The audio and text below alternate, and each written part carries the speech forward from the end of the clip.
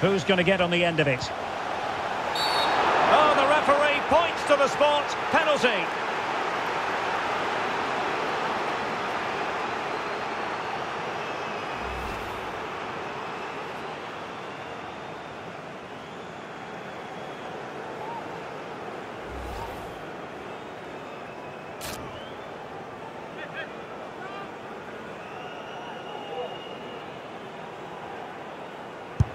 In it goes.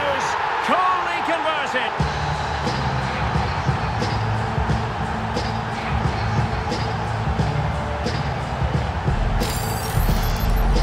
Well, here it is again. The keeper tries to read the penalty, but in the end he just makes no effort whatsoever. That's a strange decision.